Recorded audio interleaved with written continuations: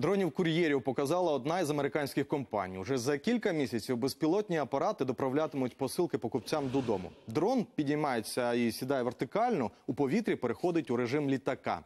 Може нести пакунки завважки до 2 кілограмів і летіти без підзарядження 24 кілометри.